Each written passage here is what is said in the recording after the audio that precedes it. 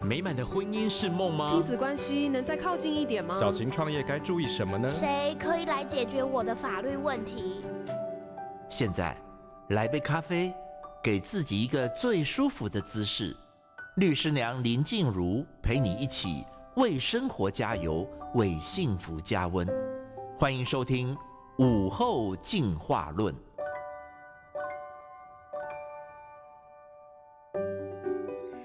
欢迎收听九八新闻台午后进化论，我是律师娘林静茹。今天的律师娘聊心事为大家请到的是胡展告智商心理师，要跟大家聊的主题是别让负面情绪绑架你。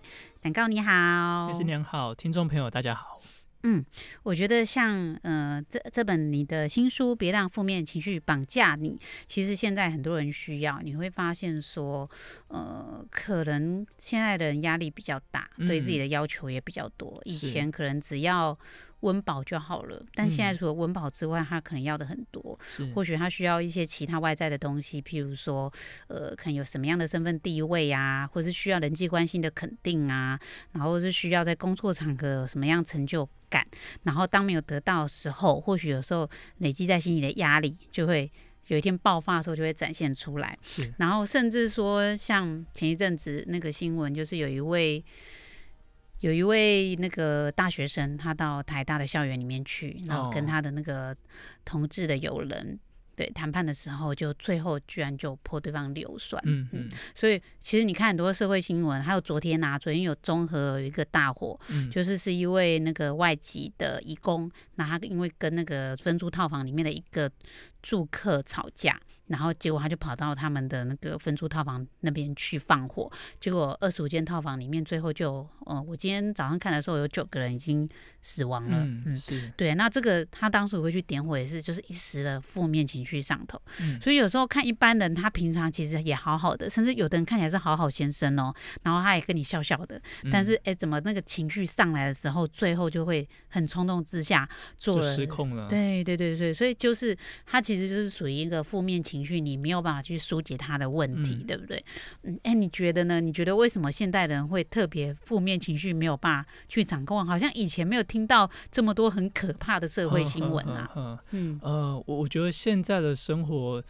有有几个，第一个是资讯太多了。嗯，你看我们以前如果想要听新闻，想要听广播、看新闻，你可能就是早上一个时段，中午、傍晚，然后过来就是晚上。嗯，那可是现在不一样，现在你手机打开，即使你没有看，你没有看电视，你只要在脸书随便滑，都会有任何新闻进来。嗯，那我觉得人的心灵弹性，人的心灵是一个有限的空间，它有一个一定的弹性。嗯，当你塞太多进去东东西进去的时候。其实人会不舒服的，嗯，这是第一个。第二个，我觉得现在的生活太讲求效率，嗯，就是每一件事情、每一个时间一定要塞满很多事，嗯。那所以我之前演讲的时候，我常举一个例子：我们工作效率变好了，嗯，那看起来时间变多，对不对？嗯。那我就问听众朋友说：你们觉得这些多的时间，我们会拿来休息，还是拿来做更多的工作？嗯。其实大部分的人都会回答拿来做更多的工作，所以。当我们在谈效率的时候，我们会忽略一个东西，叫做情绪。嗯，因为负面情绪常常会让我们觉得原本要完成的事情被卡住了。嗯，那我举个例子，比如说，呃，你明天有工有工作要交，嗯，明天有期末考，可是今晚你发烧了，嗯，你一定会告诉自己啊，身体没关系，我先考完再来讲。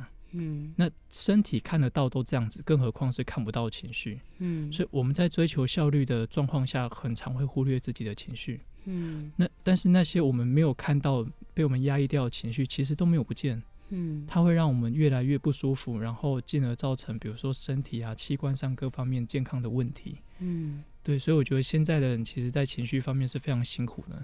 所以心理的问题，它其实会影响身体生理生病，是不是？是，比如说你长长时间在高压的工作环境下，其实你的胃的消化系统可能会有一些状况，嗯，比如说消化不好，嗯，然后胃食道逆流，然后打嗝。嗯，那你的睡眠品质可能不太好。嗯，那长时间紧张的状态下，我们的人的肢体是有语言的。嗯，当你长时间紧张，你的肩膀可能会很高的这样耸起。嗯，嘿，久而久之，你这边就会很紧啊，很酸痛啊。嗯，对，都会有这样的状况。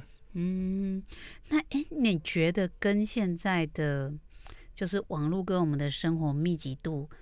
很高有关系吗？嗯，有关系。我觉得。那以前我们就是下班或放学回家，门一关，我们就回到自己的生活。可现在不一样，现在有赖的群组，就像我们刚刚在节目开始前聊的，比如说学校有很多家长啊，然后老师们的赖的群主，公司也是，嗯，所以你的生活变成没有界限，嗯，你只要去想象一个画面，你住的房子四方就是四个墙壁，全部都是透明玻璃装的。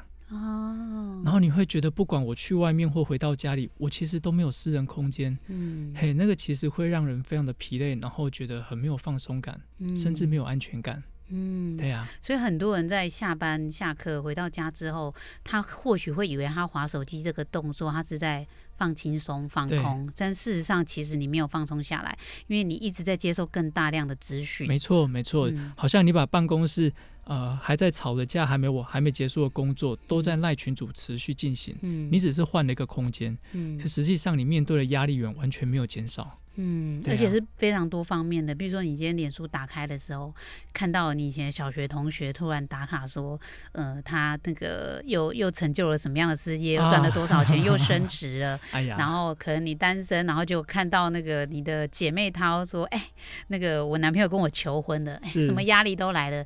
他有可能接收到的各式各样对自己要求的那个压力，都可能在你的手、你的那个网络的资讯当中变得无缘佛界的去影响到你。没错，没错。嗯，嗯所以或许好像休息的时候，其实还是要帮自己隔绝一下跟外界的资讯，会比较好。对啊。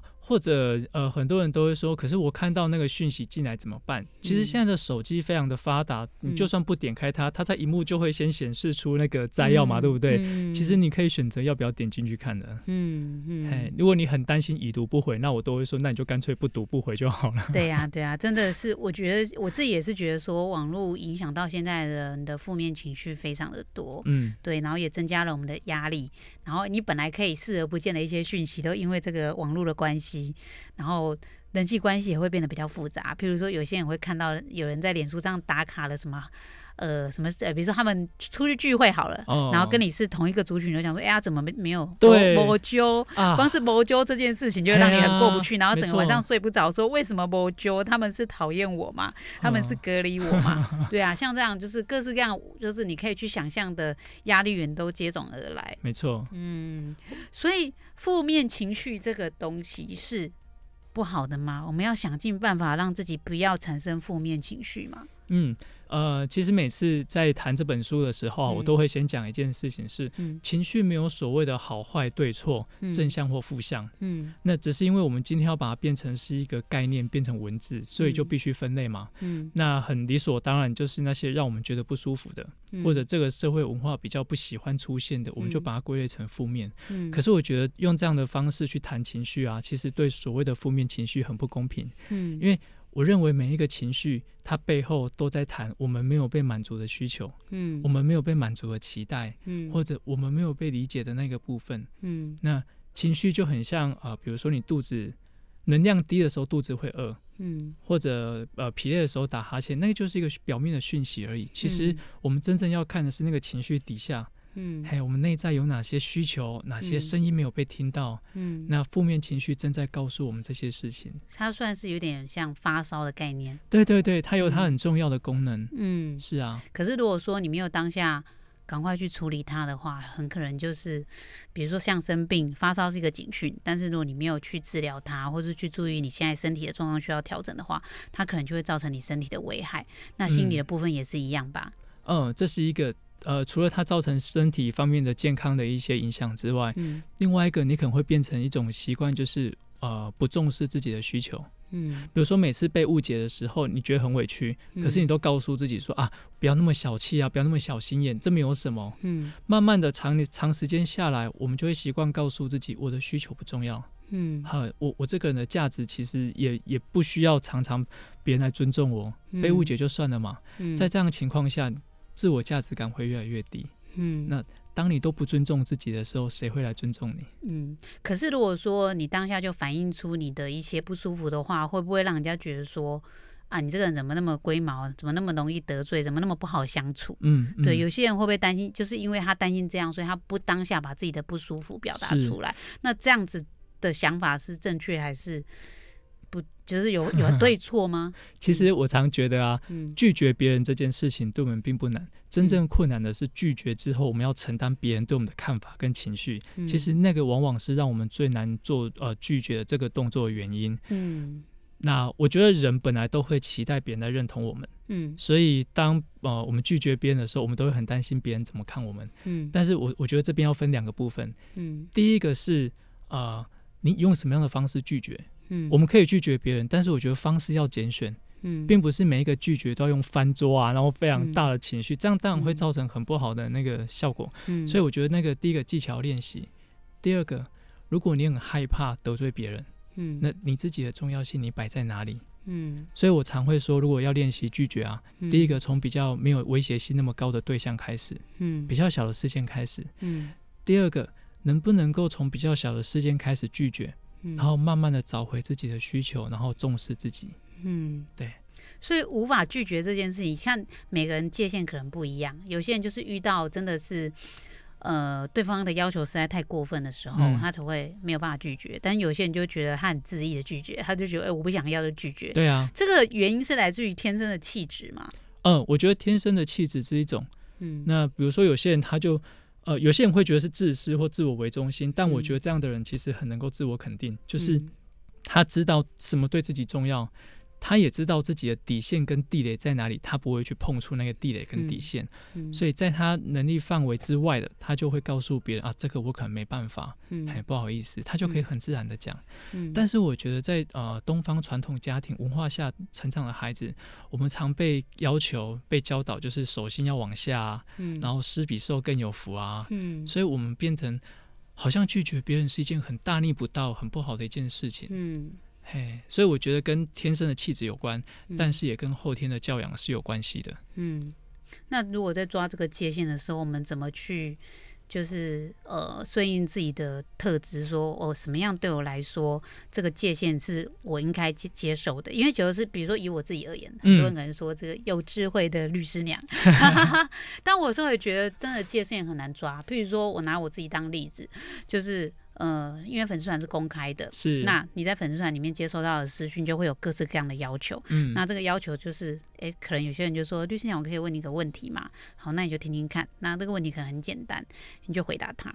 那我有遇到过说有问有有个粉丝问了一个很大的。嗯，议题这个议题，如果你要讲完，你可能要写出一篇文章 才有办法回答他完，因为有各式各样的状况嘛。是，那你就跟他，我就会跟他讲说，嗯，你这个问题有点大，就是不是不是严重，是指说这个太广了，所以我们可能需要说，比如说你来我们现场，你直接跟我们律师讨论，然后呃，律师因为根据你的状况，他可能就知道哦，原来你是属于哪个类型，那我就就这个类型去回答你。是，哎，这个时候这个人就突然爆冲了，他就说，难道你就现在不能简单回答一下吗？我觉得遇到像这样的状况，那我时候其实自己就会很为难，说，哎，难道是我的问题吗？嗯，还是你的问题呢？对啊，我想一般人在日常生活中都是会这样。有时候你真的很不知道，说你不知道怎么抓这个界限，说到底是我不通情理，还是对方的要求太过分？其实我我相信很多人他不想要，他也真的不想要在尽力状况下不想要得罪人家。嗯，对。可是界限不在的时候，其实你有时候很难去。说说，那我到底该不该拒绝？对，嗯，呃，我我觉得一样，还是分两个部分。第一个是我有没有帮，我我有没有办法帮上这一个人的忙，以及我跟他的关系怎么样？嗯，那每一个人，你呃，每一个人的界限都不同，每一个人跟不同的人之间的界限又会不太一样。比如说，我在我的粉丝页上面就会说，我会提供相关的资讯，但是我没有办法提供私人的智商。嗯。所以这个这个界限就是清楚的，嗯，但是有时候如果是我很熟的朋友或甚至是亲戚，嗯，其实我会跟他们谈的内容可能又比一般的粉丝的那个内容又更多一点点，嗯，所以那个界限其实是一个动态的过程，嗯，可是我觉得最困难的一件事情是，当对方没有意识到他把他的情绪负面情绪丢在你身上，嗯，那你到底要不要承接？嗯，你不承接，好像放在亲子关系里面就是不孝顺，嗯。啊，放在行呃公司里面。职场里面可能就是违反行政伦理，嗯，可是你把那些不属于你的情绪收下来，其实非常痛苦的，嗯，所以我觉得谈到情绪这件事情，嗯，很多人的痛苦都会在于我要不要去承接别人的负面情绪，嗯。嗯，所以你像你自己，哎，我请你讲一下你的背景好了，你的背景在就是面对的案例都是以哪一类的被哪一类的呃案例比较多？然后所以你会遇到要处理。呃，你的当事人他们都是哪一类的负面情绪的状况？嗯哼，其实我自己一开始工作的对象比较多都是儿童跟青少年，就是国小、国中的学生。嗯，那他们的负面情绪来自几个？第一个就是人际关系，嗯，跟同学嘛，跟同学或者后来跟老师吵架。嗯，那另外一个就是亲子。嗯，但是我觉得另外一个比较大的情绪是他们被大人逼着要来跟我谈话。嗯，好那样的负面情绪。可是跟他们工作一阵子之后，我发现有一群人。很可怜，一直被忽略，然后被救着。那一群人就是孩子身边的大人，比如说导师，比如说家长。嗯，其实他们身上也背负着非常多的压力跟负面情绪。嗯，所以我后来发现，针对这一些大人，给他们一些情绪上的支持啊，一些鼓励，其实他们很愿意再回过头来跟我合作，然后一起去帮忙这个孩子。嗯，对，所以我工作的对象主要是儿童青少年，还有他们的家长，还有老师。家长最主要来会产生的负面情绪，亲子关系部分常见的是哪些状况让他们产生负面情绪？觉得伊娜做拍改，嗯，孩子不听话，嗯，呃，孩子孩子不写功课，孩子不听话有关系吗？为什么孩子一定要听他的话呢？其实我也很想这样问家长嗯、但是他们应该会爆炸。所以其实第一个时间就会先同理家长，就是呃，当你不管怎么讲教孩子，孩子没有听话的时候，其实你很挫折，你也很辛苦。嗯，哎，但其实你比较希望孩子能够听话是哪个部分？嗯，他全面都听吗？还是你也容许他在某个部分能够有他的想法？嗯，对啊。所以如果真的遇到。那个家长的负面情绪来就是说，哎，我孩子怎么讲都讲不听的时候，你做智商心理师的角度的话，通常会给他什么样的建议呢？嗯，其实我第一时间应该是说，我有一半的时间还是会去支持家长的辛苦跟他的挫折。嗯嗯，因为我后来发现，当我太快给他建议的时候，那个建议啊，通常他们会听，嗯，但是不会做，因为他觉得他那个来的那个委屈、那个挫折、那个无力感，没有人理解他，嗯，而我只是教他怎么。那教他哪些方法？但他心里可能就会想说：“你算老几啊？你有孩子吗？你怎么教？你怎么你用什么来教我？”嗯，但反而是先同理他的无奈，嗯，同理他的情绪之后，那个合作关系会建立起来。嗯，接下来我们会一起去讨论，针对这个孩子，其实你用过哪些方法是其实蛮有效的，只是家长可能自己没有看见。嗯，那如果没有的话，我们再来讨论还有哪些更好用的方式。嗯，所以我通常不会第一时间就告诉他们有哪些方式好用。嗯，对，即使我脑脑袋中有几个备案，嗯，但我通常会放到最后，家长自己问的时候，我才会给。嗯，对。可是不会教他们去怎么教小孩这样。对，通常不会一开始就这么做。嗯，有的话也是到很后期，然后我们一起来讨论有哪些更好的方式。嗯，所以当青少年的呃行为产生偏差的时候。其实父母也是很需要帮助的一个角色，他们很无力啊，对啊，因为他们一定也不希望孩子变成这个样子。嗯，对我相信大部分的家长其实都很希望可以教孩子。嗯，哎，只是我觉得在这瞬息万变的现代，嗯，啊，孩子带回来的讯息跟状况太多了。嗯，哎，家长有时候真的很难应对。嗯，对啊，像之前那个台大泼硫酸的那个案件的话，嗯，以就算是加害人的那个爸爸妈妈，其实我觉得他们的情绪也很需要被引导，他们要承受很大的压力。嗯，是啊，而且自己的小孩其实已经不在人世间了，嗯，但是他们留留下来的，他们却要去面对大家的指责，没错。嗯，老师呢？老师的。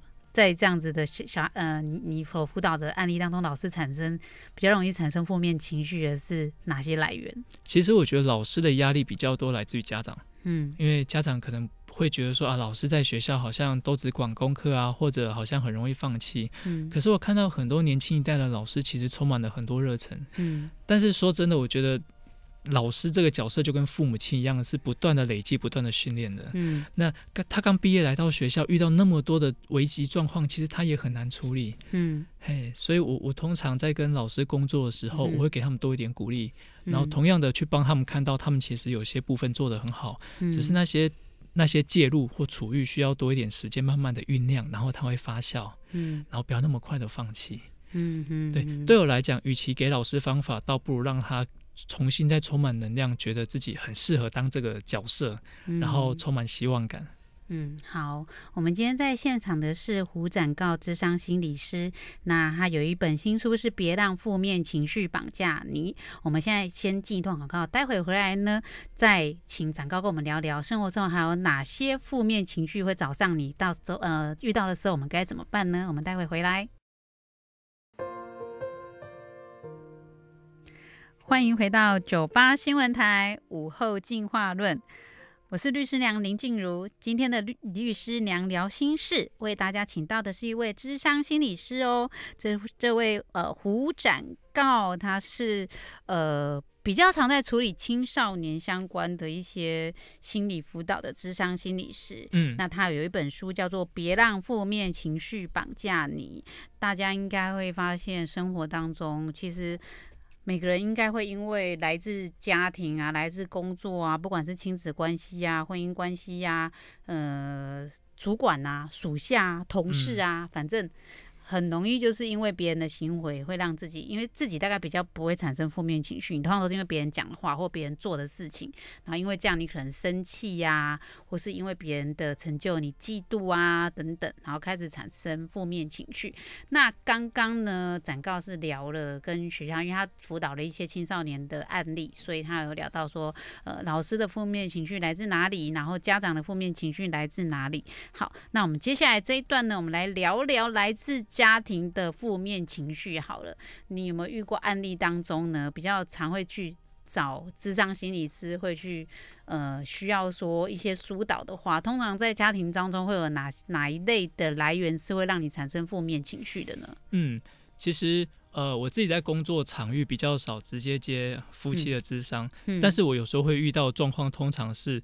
因为孩子的问题来，嗯，然后夫妻可能就在我面前开始吵架，嗯，可是我我后来发现，其实那个吵架的主题啊，不会是非常特定的，通常都是生活当中的芝麻小事，嗯，就像我曾经啊听到一个很好玩，就是因为。父亲每父亲经常要加班，嗯，那有一天突然就是不用加班嘛，于是他就心血来潮买了炸鸡回家晚餐，嗯，他想说可以分摊家务，嗯，买回家之后孩子非常开心，哇，太好了，今天晚上吃炸鸡，是啊，但就有一个人就是完全没有讲话，然后双手交叉在胸前。然后他就说，就我通常会问大家说，猜猜那个人是谁？嗯，很多人都猜得到那一个人的角色叫做妈妈。嗯，嘿，可是我就很好奇，妈妈不是有很喜欢吃咸酥鸡的吗？对对对 妈妈就讲了，我们家不是讲了吗？每半年才可以吃一次炸物啊。嗯，上一次吃是什么时候而已？那你都买好吃的回来，对你当好人，我当坏人吗？哦，对，就就像这个，其实就会吵。那可是我们其实。其实你再去问这个母亲，就是为什么你的先生为什么买炸鸡？嗯，嘿，大部分你在回国突然冷静想的时候，都会知道，其实先生想给家里面一些惊喜啊，然后帮帮忙分摊家务啊。嗯，可是我们第一时间会看到的事情是对方不符合我们的期待跟想象，于是我们的情绪就会出现。嗯，所以我觉得不管是伴侣。或是亲子，很多时候的冲突不是来自于我们想要伤害对方，嗯，而是来自于我们的爱里面其实夹杂着对对方的期待，嗯，可是我们很少去看到这一块，嗯，就像父母亲很期待孩子可以长成什么样子，比如说，呃，穿，就像我爸妈很期待我穿衬衫就是要扎扎进去，嗯，但我出了两本书，上了一些节目，我还是没有办法做到这件事情，嗯，他们每次看到就会皱眉头，会念啊，嗯。嘿你你你爸妈很在乎有没有扎进去？对对对，他们就是很期待孩子。关一下，直播直播拉高一点，不要让他发现。他们他们会期待呃另外一半或期待孩子长成某种样子。嗯，可是每一个都是独独立的个体。嗯，我们不可能百分之百符合对方的需求。嗯。呃，符合对方的期待，所以当对方没有符合我们的期待的时候，我们很容易情绪就会上来。那怎么办？我也会啊，就是期待我老公早点回家啦，或是期待我老公可以体贴一点啦，期待他今天可以不用我讲就帮我洗碗啦，等等。当他不符你期待的时候，真的，你那个负面情绪就会产生啊。对，所以你看哦，通常这时候负面情绪第一个层次通常上来就叫做生气。嗯，会先生气，那可是那个生气往往不是最真实的情绪。我们要再往下看，那个生气有呃，那个生气有可能来自于，比如说先生没有没有找回来，嗯，或者先生买回来的晚餐不是我们期待的，所以那个背后有一个东西叫失落。嗯，生气的背后是失落。嗯，那我们就要去听失落的背后，其实他在告诉我们什么？嗯，比如说，其实我好期待先生可以不要那么辛苦。嗯，其实我很期待我们两个有多一点时间相处，或者我很期待先生在买肯德基之前，他可以先打个电话回来，那是尊重我，嗯，然后也可以关照到我的想法跟需求。我们要的其实是这个东西，嗯，可是如果我们没有听到这些需求，通常第一时间是就会生气，嗯，那生完气吵完架之后，你就会发现很空虚，因为原本想讲的也没有讲出来，嗯，啊，对方也不知道我们到底在气什么，嗯，对啊，所以要很具体的把你希望对方怎么做。讲出来给对方听，而不是只是表达情绪而已。对，心理学里面有一个概念叫做“我讯息”。嗯，我讯息就是你看到每次我们在生气的时候，都会用指责：“你怎么没有晚？你怎么没有早回家？嗯，你怎么这么晚才回来？嗯，你怎么买这种东西回来？都是你。”嗯，那当对方听到这样的话的时候，就会觉得他被指责。嗯，可是我讯息讲的是，其实我很希望你可以早点回家。嗯，啊，其实我很期待我们有多一点点时间相处。就像这样子，把我们自己的需求讲出来。嗯，对。所以，我们应该要把“你怎么可以”把它改成“我希望”。对，就是比较好的沟通。对，或者说我其实很期待你可以怎么样。嗯，对啊。好，我们来看一下，刚刚有一位 Victoria，他讲他跟他先生的故事。他说有一天呢，就是我老公周末一直吵我吵架，然后我就一直躲，然后我就跑走了。他他什么都可以跟我吵哎，然后结果呢，我就说你每次都为了小事跟我吵，结果他就大发脾气，说我都不尊重他。好，这个是那个。很多夫妻之间会产生的一个落差，就是对一个人来说是小事，对一个人来说是大事。对，那我想，如果说两个人在相处的时候有这个落差的时候，对，就是会吵架嘛。因为就啊，一另外一个人就会觉得说这芝麻小事啊，嗯然后那个生气那个人就说这不是小事，这个代表了什么什么什么什么。对对，开始出现这个沟通落差的时候，该怎么办呢？嗯，我觉得在在这样像在关系里面，其实很忌讳去谈一件事情，就是你讲那个不重要，嗯，我讲这个比较重要，所以变成大小事嘛。可是这种这种现象，通常我相信不会是单次的，可能是长期累积以来。嗯，那因为没有具体的事件，我也很难回答到底该怎么办。但是我自己通常就会去问另外一半，我会告诉他，我发现你很生气，嗯，但我不知道今天发生了什么事情，嗯，那你愿不愿意好好的告诉我，嗯，是怎么了？嗯，因为你用骂的，其实我听不懂。嗯，那我知道你很生气，所以我先同理你。嗯，但是我真的也不知道发生什么事。嗯，所以你可不可以好好告诉我？嗯，那你有也有另外一个网友是他的意见是说，他会觉哎会觉得对方不尊重你，是不是对于对方有过多的期待？这个是网友。问问的，其实我会比较好奇这件事的是，你期待别人对你的尊重是什么？嗯，每一个人期待被尊重的形式不同。有些人是，比如说像我在讲话，律师那样看着我，我就觉得被尊重；有些就觉得你要点头，要有回应，甚至要能够同理我才叫尊重。有哎，所以我通常会回过头来先问自己：我期待别人尊重我是怎么样尊重我？嗯，要先了解自己的需求。对你讲到这个，我就想到前一阵子有一个新闻，就叫做。因为已读不回而离婚，就是很多太太啊，可能就是会有什么不开心的。现在因为现在大家都使用赖嘛，对不对？然后就传赖说你昨天干嘛？什么袜子不怎样啦？什么不怎样？早上为什么不掀马桶盖啦？等等，他就传赖给他。然后老公就想说，好吧，那心里他心里想说，知道了，我回家，对，或者是我知道了，下次就不会了。然后他就心里想说，好，我回家跟你谈，我现在正在上班，是啊，但他就已读不回，是对，但是太太对这种已读不。不回就会很。跳起来，对啊，就像你讲的说，其实他先生就觉得说啊，干嘛已读一定要回？对对，我就看到了，回家再处理不就好了吗？对对。可是对太太而言，她那个当下是把她的需求跟期待抛出去，其实你回个我知道或干嘛，其实也就可以了。嗯，因为先生可能想说啊，赖都已经自动帮我写已读啦，对对对，就代表我收到讯息啊。哎呀，结果我上次真的看到一个法官的判决里面，然后因为那个新闻的标题可能下的比较耸动，是，所以他就说先生因为已读不回，法官判离婚。哇。但是你真的，我我相信啦，因为我也没有回头再去新闻，都是。讲一个描述一个案例嘛，但我没有回头去看这个判决。不过，呃，以我们自己业内人就知道说，因为他是抓其中一个法官描述的事实，法官大概讲了十条线，因为这十条线，所以我判你们离婚。嗯，但他就把这个已读不回，就是大家对，而且还有大家很很有共鸣的这个事情，然后把它写出来，所以就是把它变成，所以看起来那个新闻都说，哎，已读不回是会变成离婚的室友哦。好，然后那个哎，亚瑞亚找到你的粉丝。粉砖了，你的粉砖叫做遇见黑狗黑狗狗，是的。哎，为什么会是遇遇见黑狗狗？啊？因为我的名字啊，那个“告”的发音在台语里面是狗的意思。告的发音，告在台语是狗，告告告，对对对，所以我从小就有非常多跟狗有关的绰号，嗯，对，嗯，好，OK，所以大家如果想要加入我们那个展告的粉丝团的话，就是遇见黑狗狗，对，黑是那个口字边的黑。黑黑黑，对，黑咻的黑，不是黑色的黑。好，你可以加入他的粉丝团哦。不过私讯他的时候，请不要给他太多的负面情绪。好，那呃，如果说当然我们讲的是比较平常的状况啦。可是如果说你真的已经几百会到头上了，好像感觉刹那间你没有出去的话，你觉得整个已经怪俩拱了时候，你当然没有办法冷静思考啊。对，所以你已经感觉自己的。的情绪在最高点燃烧的，就像我学那个泼硫酸的，一定是到顶了，他根本就不知道自己做出什么可怕的事。嗯，你也觉得自己的情绪到顶的时候，有没有什么方式可以让自己不要做出伤害别人或伤害自己的事情？嗯，有。呃，我我有一个很，我有一个建议，我自己其实有时候也会用，就是当那个情绪已经满到某种程度，你没有办法思考的时候，嗯，千万不要再去苛责自己怎么那么不理性啊，嗯，然后要自己冷静，先不要做这些事，找到一个安全或者安静的空间，嗯，待在里面深呼吸，嗯，喝一杯冰的水，热的水。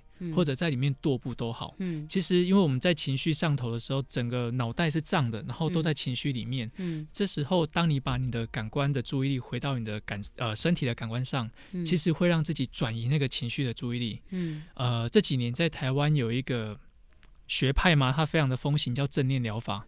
正念对 mindfulness，其实正正念疗法就在做这件事情。嗯，它让立正的正啊，对，然后念头的念，嗯，它把我们的注意力回到我们的感官，回到呼吸身上，然后就活在当下。嗯，嘿，因为他认为情绪其实是有时候别人讲过的话，是我们自己把它捡起来继续对自己讲。嗯，但是我们应该回到当下，就是透过呼吸，透过喝水，让感官让注意力回到身体身上，然后可以暂时让那个情绪缓和下来。嗯。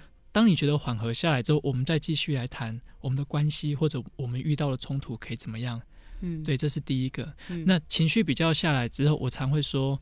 不要因为进入婚姻之后就没了自己的朋友、自己的呃交友圈，你还是要有可以信任的，比如说哥们啊，你的姐妹，可以好好去谈一谈，去聊一聊。嗯，对。所以照这样讲的话，应该离开现场是也是一个很好的做法。其实现在在学校也有啊，学校每一个班级低年级后面都有一个叫做安静角。嗯，孩子如果很冲动，就可以去那边，他可以在里面啊玩啊、看书啊、打球都可以。但是你就在那个角落里，等到你觉得情绪比较平复，你再走出来。嗯，对。好，OK。那我们今天在现场的是智商心理师胡展告，然后他有一本新书叫做《别让负面情绪绑架你》。我们先进段广告，待会回来呢，如果你在直播下面也可以留言一下哦，有没有什么需要解决的负面情绪，让展告来回答你。我们先进广告，待会回来。欢迎回到九八新闻台午后进化论，我是律师娘林静茹。我们今天的律师娘聊心事，为大家请到的是胡展告，智商心理师，要跟大家聊的主题是他的新书《别让负面情绪绑架你》。好，刚刚刚有跟展告聊到说，呃，每每个人难免嘛，就是遇到某些状况的时候，可能今天就是倒霉事特别多，然后就跟对方，或是跟呃亲子之间啊，或者夫妻之间就吵起来了。当你的情绪很满意的，满意到顶的时候呢，负面情绪满意到顶的时候，也可能就要选择。让自己找一个安静角，对，让自己冷静下来，然后深呼吸，喝杯水，这样，然后不要一直拿对方的话来反复自己不停的重念，这样。好，那还有一个状况就是说，呃，我相信大家在公共场合里面也会遇到这样，或是遇到朋友的时候，好了，或是遇到你自己的爸妈，有可能你自己很冷静，但是对方的情欲情绪非常的非常的高涨的时候，对啊，那你你也会很担心他，想说我是不是再讲一句话你就跳起来了？这时候好像那。诶，我我比较常遇到就是说，比如说老公老婆好了，老婆很生气，然后老公想说啊，我好像讲什么你都生气，我干脆都不要讲。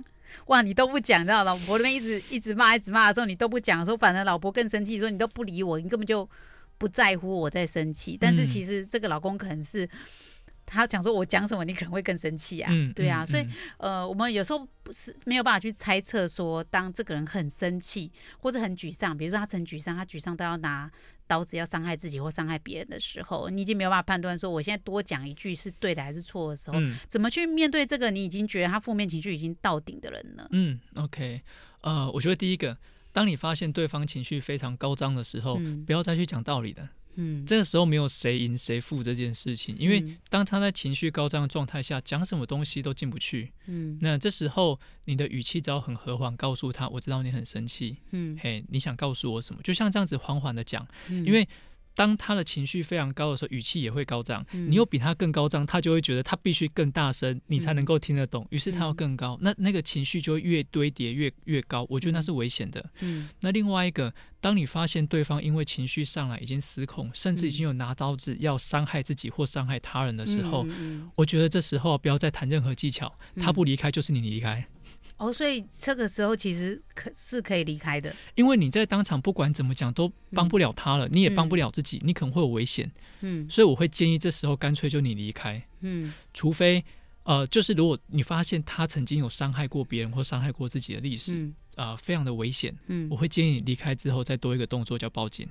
哦，对，这是比较极端的例子。嗯，但是如果对方真的有暴力倾向，你在那个当下，不要再苛责自己，要再讲什么让他稳定，或者要说服他不要。嗯，因为当他讲都没有用，因为当他情绪太高的时候，不是伤害自己就是伤害你。嗯，所以你还是要保护自己。哦，所以其实像之前那个案例，他他其实应该要早点离开。对我，我觉得不要在现场再谈判了，那个其实非常的危险。嗯，对，不要想说当场要找出一个共识来。对，或许你用的方法很好，但是对方在情绪上头其实进不去的。嗯，对呀。还有你刚刚讲说，呃，我知道你很生气，或是我知道你很难过，对，它也可能是一个通关密语。呃，或者我知道你很难受。嗯，好，我们直播有一位那个。网友问说：“当心理智商师是不是很不容易？要承受别人的负面情绪？你们会觉得自己在承受别人的负面情绪吗？”其实一开始会，但是慢慢的在工作当中，就像我们节目前我跟呃律师娘在聊一件事情是。我会看到很多负面情绪背后，其实常常都承载着一个人的期待，他的需求被没有被满足。嗯，那你其实会很理解为什么他会这样子。嗯，那对我来讲，就算那就很像是一段故事，在我生命当中没有出现过。嗯，那我经历了一段故事，所以。呃，当然也会承受那些负面情绪，但是会来会有越来越多的理解，嗯，为什么会这样子？嗯，好，这是那个回应利亚的关心，然后另外就是呃，有一位小婷问到说，那如果他根本对方如果连吵都不跟我吵，然后用冷漠对待我的时候，我该怎么办？嗯，其实这时候我觉得最不舒服的地方，一定是自己被勾动，那个对方不理我，是不是觉得我很没有价值，我没有被需要，我没有被重视？那个很常会回到我们小时候的经验哦，是不是曾经我们在讲话，父母亲也不太理我们，或者我们讲的话不是父母亲想要听的，于是父母亲转头就离开，留下在当场的我们，其实会觉得很不舒服的。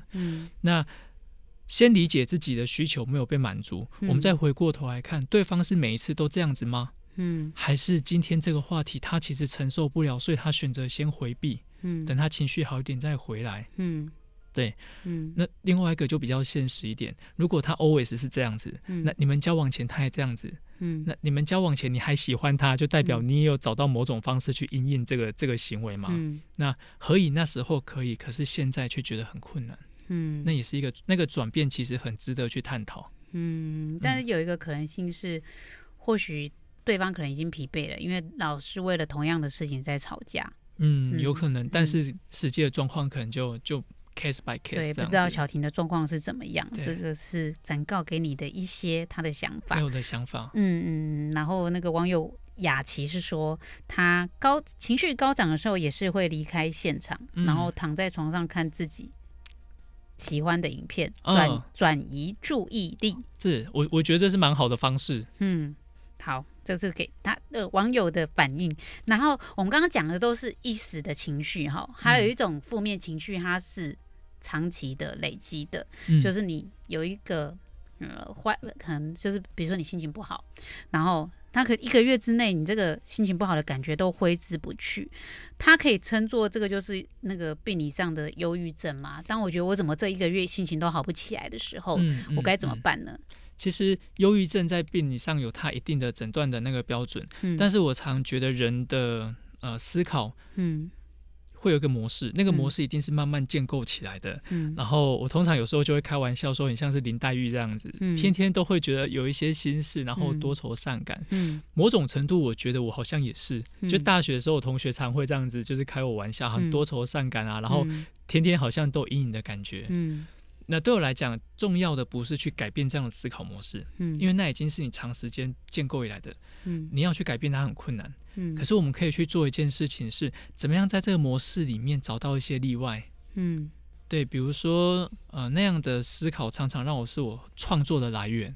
啊，好好好，对他对我其实有一些正向的协助，嗯，以及在某些事情上，我并不会全然是那么的悲观或那么的负向，我必须去找到这个例外，然后告诉自己，我可以跟习惯多愁善感的自己相处，但是我其实也有我很正向阳光的那一面，甚至我的多愁善感其实帮助我对人的了解比较比较多，然后比较贴近，那个其实都是正向的。哦，所以他不见得是生病了。对，那也不一定要一定要去改变他。哦，那当然，我觉得如果你的那个所谓的低落情绪已经超过一个月，然后你让自己在睡眠啊、食欲上面都有非常大的影响，嗯，你没有办法出门，然后你想要伤害自己，其实我觉得这时候真的还是要求助，比如说朋友或者去就医。嗯哼，对，所以应该要观察是说这个负面的情绪对你的生活或是对你的身体有没有造成什么比较大的影响，嗯，或者主观上会不会让你其实真的非常的不舒服，嗯，对啊。所以如果说天生个性上是比较容易悲观的人，其实他也不是一种。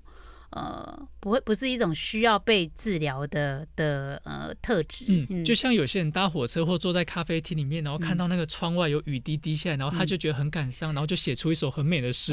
其实我觉得蛮厉害的啊。嗯，但写完诗之后，他也觉得嗯，OK。他就是用这样的方式在欣赏这个世界。嗯，所以所以很多作家跟诗人，或许他搞不好就是因为他特别多愁善感，所以才怕写出这么多 让人家觉得的能量。对对，好，OK，我们今天呢，请到现场来宾是胡展告智商心理师，那他有一本书是《别让负面情绪绑架你》，如果对自己的负面情绪觉得常常被绑架的，可以去看他的新书哦。谢谢展告，谢谢，嗯，好，拜拜，拜拜。